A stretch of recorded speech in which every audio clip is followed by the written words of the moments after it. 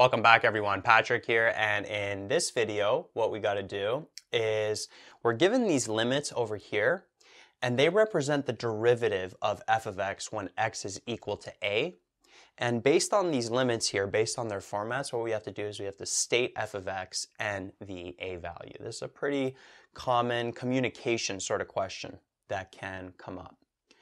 So for these limits, we're actually going to be using both definitions that we've went over. So just to do a review, the first definition, the most popular one of a derivative is limit as h approaches 0 of f of a plus h minus f of a all over h.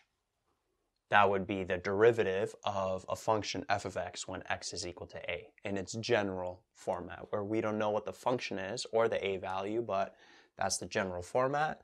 And then number two, the alternative definition is limit as x approaches a of f of x minus f of a all over x minus a.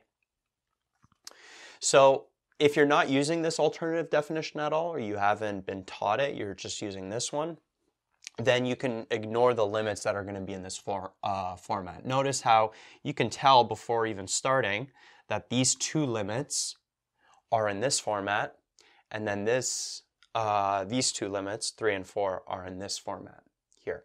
But what I'm actually going to do with uh, these two limits is after we figure out what's f of x and a, I'm going to take these limits and put it in this format as well. Just in case you're not using this definition, you're only using this one, you could see how these would be stated with that definition as well.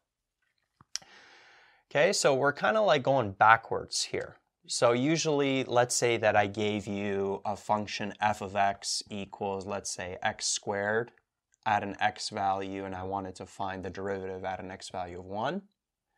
Well, if I use this here, with the first definition, we'd have the limit as h approaches 0 of f of a plus h, or f of 1 plus h. The a value is 1 in this case, so we'd have 1 plus h squared, right? We're plugging in 1 plus h into this function, minus f of 1, which is just 1, right? 1 squared is just 1. This would be all over h or the limit as x approaches 1, if I use this definition of f of x, which is x squared minus f of a, or f of 1 in this case, which is 1, all over x minus a, which is x minus 1. Right, so this is an example. So what's happening is instead of being given this and we have to state this, we're given these limits and we have to go backwards and figure out from the format of these limits what's the function what's that a value. Okay, so here, notice that this limit is actually in this kind of same format. So kind of hard to tell, but obviously the a value, you could tell because it's f of a plus h minus f of a all over h. Notice that it's 3 plus h here. So this is like the a plus h. So from here, we could tell that the a value is 3. And then if the a value is 3, notice that we're taking that expression 3 plus h and then we're squaring it.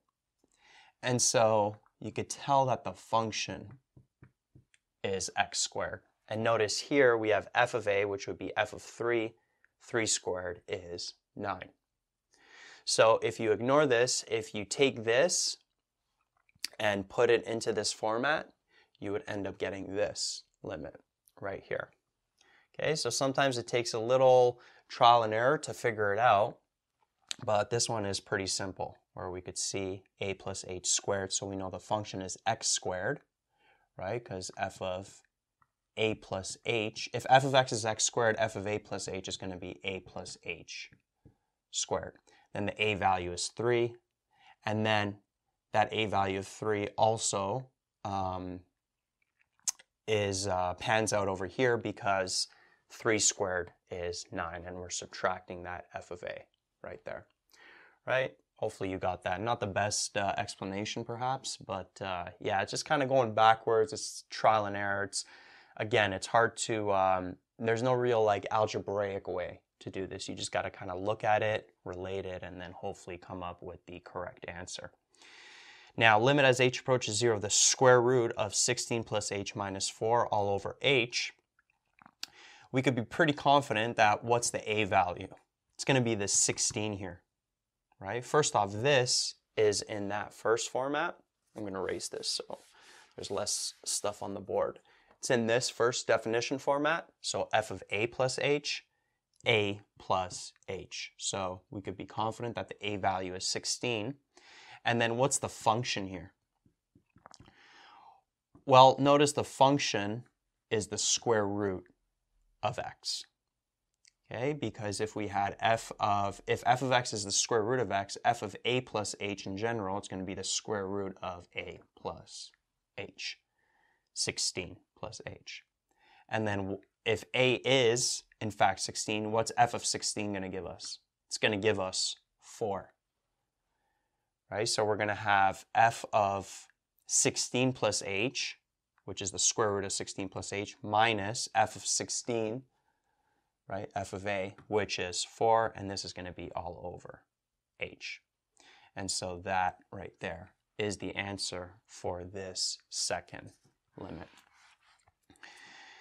And then limit 3 and 4, notice that it's in this format here, the second definition, because we have the limit as x approaches something, x approaching something, not h approaching 0. And when it's in this format, this is actually a lot easier to deal with than this one. Why? Because notice that the a value and the function is already stated in that limit. So we just have to look at this Notice as x approaches 3, as x approaches a, the a value is 3, and then f of x is just this 2 to the power of x. Right? And so that's the answer. The a value is 3, f of x is 2 to the power of x.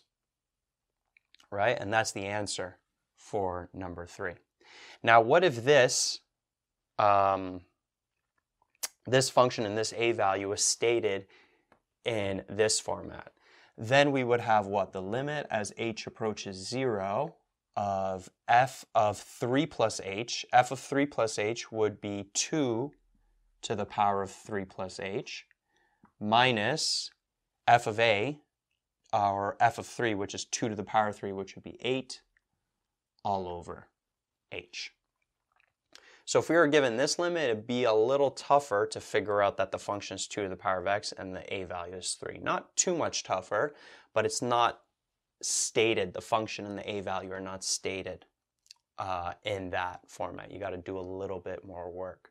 But again, it's still not too bad. You notice that we have a plus h here, right? So the a value is 3, function is 2 to the power of x, and then 2 to the power of 3 does indeed give us 8.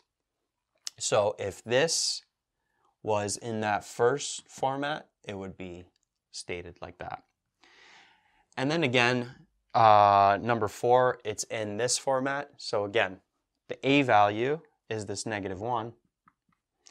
And then f of x is this entire thing right here. So it's x minus 5 over x plus 2. And that's the answer for number four. Remember, we just have to state f of x and a. We don't have to solve these limits.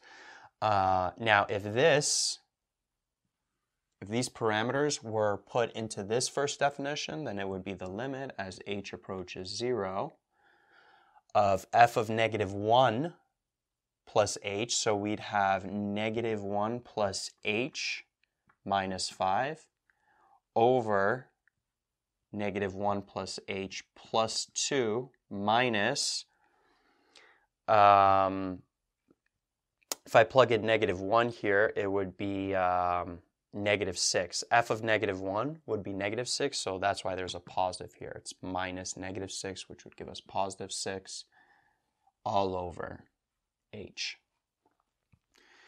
So it would be a little tougher to spot with uh, that limit versus the function being explicitly given in uh, this limit.